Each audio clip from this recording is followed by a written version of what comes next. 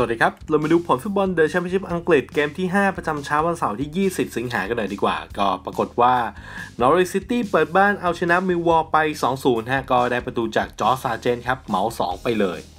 แล้วก็เลยทำให้ตารางคะแนนในตอนนี้เนี่ยนอริชซิตี้ขยับมาอยู่ที่ 5 ฮะ เก็บเพิ่มเป็น 7 คะแนน ส่วนมิลล์วอลล์ก็ยังมี 7 คะแนนเหมือนเดิมฮะแต่ว่าประตูได้เสียตอนนี้เหลืออยู่แค่ลบ1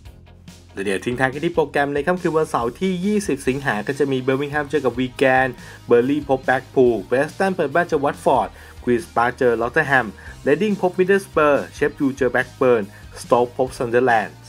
สวอนซีเปิดบ้านเจอลูตันทาวน์แล้วก็เวสต์บรอมเจอกับฮัลล์